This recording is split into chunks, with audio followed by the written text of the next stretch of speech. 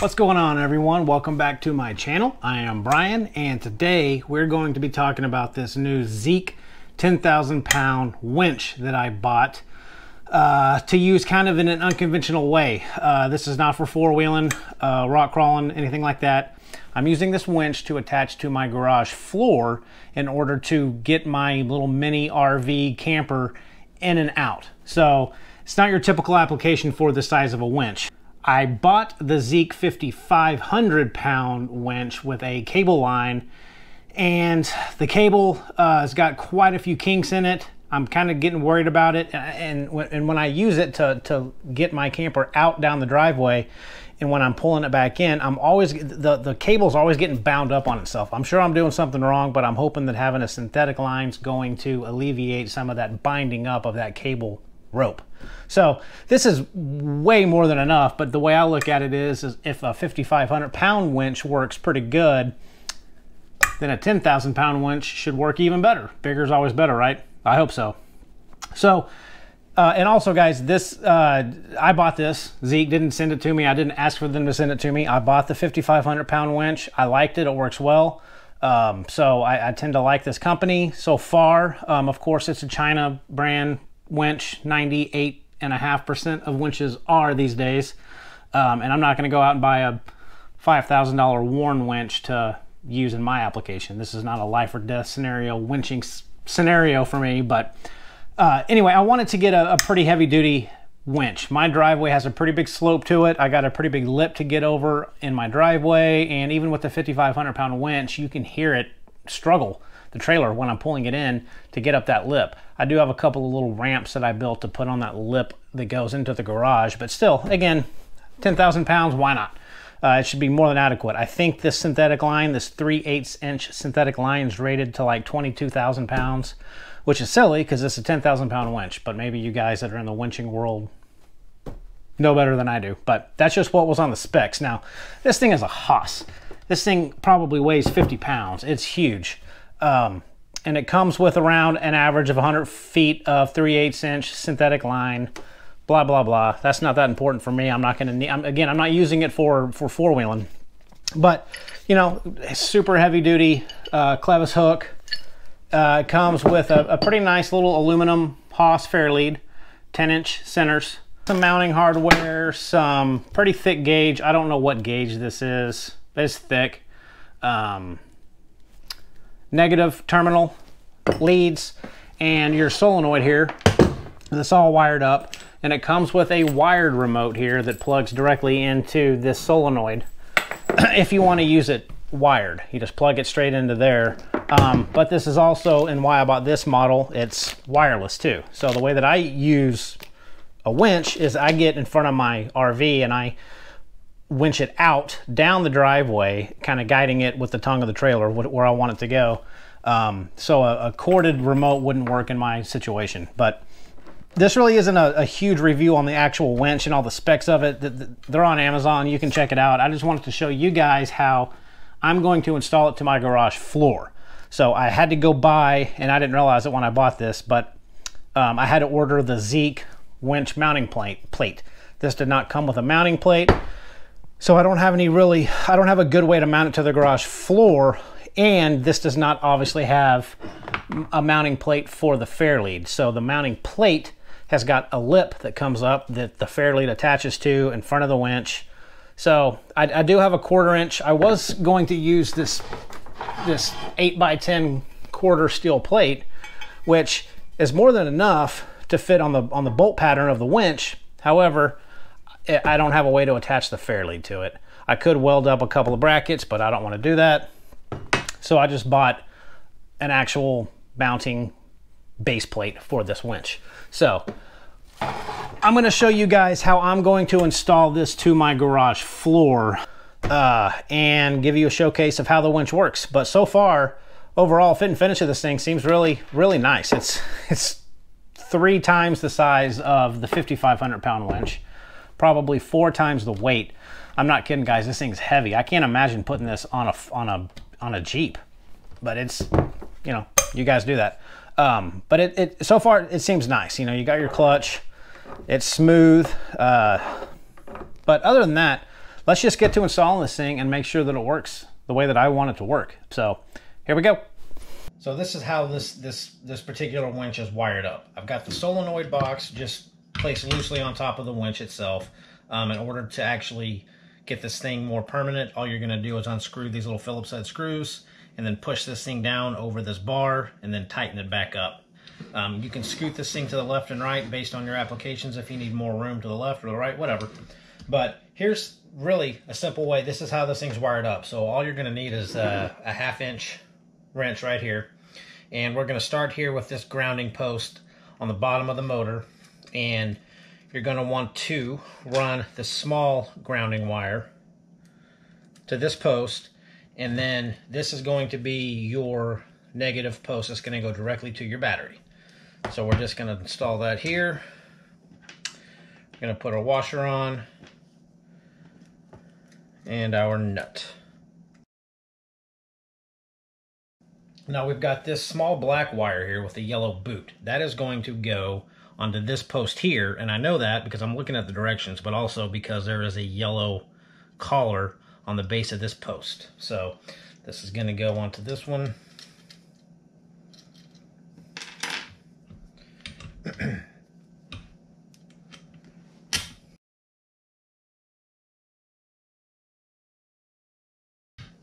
and that leaves you with this middle red lead, the second from the left, is actually going to go directly to your battery as well, so leave that alone. You have this positive lead coming off, which is the third from the left. It is going to go to this post right here.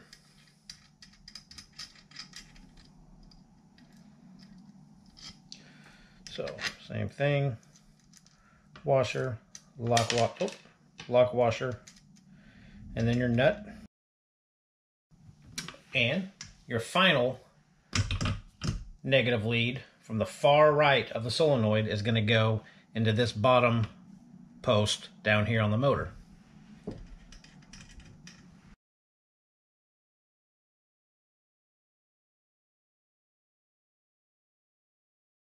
And give everything a good tighten down and get these boots that come installed on the leads, get them put over, and then you are basically set up.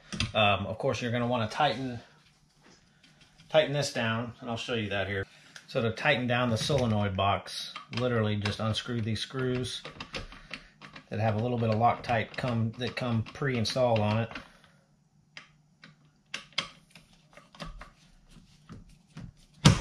And you can see how it just kind of snaps into place there. And for right now, I'm just going to center it. I'm not worried about this fitting inside a bumper or anything, so just give it a pretty good little tighten.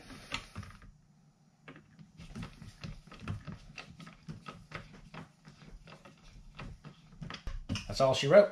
So that is how you wire up this winch. And again, when, when this is all done and you're ready to, to test this thing out, you've got your negative lead that is going to go direct to your battery, and you've got your positive lead with the circuit breaker pre-installed that's going to go directly to your battery. So these are the only two things that are going to be coming off of the winch that are going to be going to your battery. Everything else is ready to go. So with that, now it's time to get this thing installed. So the new mounting plate just just arrived, and I unboxed it, and I'm a little bit shocked. Uh, this this is absolutely 100% overkill for what I need. Um, 36 inches wide. Uh, this thing's huge. For comparison, here is the mounting plate for my 5,500 pound winch. So um, it's almost uh, comical how much bigger this thing is. But what I'm going to do, since I already had some holes drilled into the concrete in my uh, garage already for this mounting plate, I can utilize two of these holes already um, for this mounting base plate. So I'm just going to put this toward the back and I'm going to trace two holes that I already have drilled into the concrete. Most of the holes in the concrete I'll not be able to utilize because they're kind of underneath this drum on the winch, so I'm not gonna be able to use them. So I'm gonna try to use at least two of them. So I'm gonna get two of these holes drilled, get the winch mounted, place this on the garage floor, and then I'm going to drill again into my, garage, the floor, these four um, pre-drilled holes for that. Now I'm using 3 8 inch bolts And these holes that come with it do not look big enough, so I'm probably going to have to struggle to get these uh, uh, bigger to get my 3 8 inch uh, concrete bolts to, to fit in. But that's what we're going to do now, so let's get started.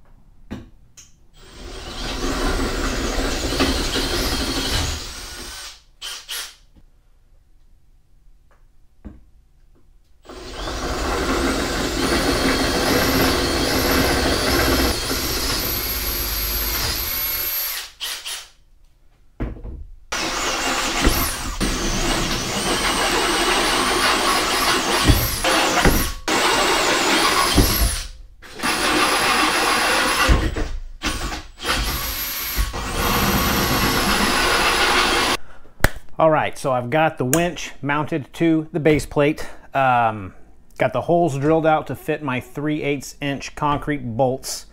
Now we are going to move this thing to the garage where it's gonna have a new home and try to get the concrete drilled out um, and get this thing squared up and hopefully it works. So let's give that a shot. Okay, so as you might hopefully can see, I've got six holes in here already drilled out for the old base plate. So I'm just use I can only use these two back ones. And I am using these 3 8 inch by 3 inch Simpson concrete bolts. And the first thing I'm going to do is get this plate mounted because I know that these two holes make my winch square. So if I can get these two holes lined up with the new holes I drilled in the base plate, I'll be able to drill the rest of the concrete holes using the, the, the mounting blade as a, as a template. So let's try to get this thing. Okay, what I've got here is the Sika Pro Select uh, anchoring adhesive. Um, and these things are a, are a beast because there's a two-part epoxy. And I'm hoping that this gun's got the right gear ratio to, to mix this. So we'll try. Okay, if you guys are going to use this, you want to make sure that you squirt out about the first capful because this epoxy has to mix inside this tube. And the black for me only came out, not the gray, so it didn't mix. So I had to go shoot out about half, half the nozzle. So I think we're good now.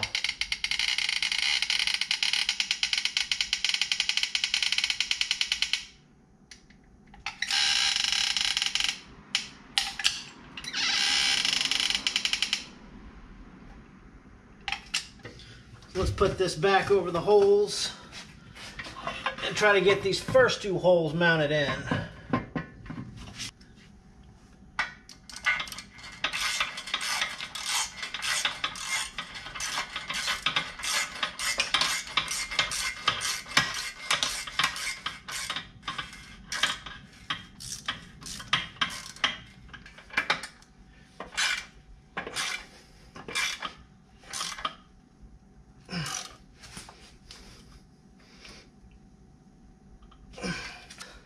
So I got those two bolts in finally. Um, now I'm just going to use this base plate as my template to drill out these four holes on both sides.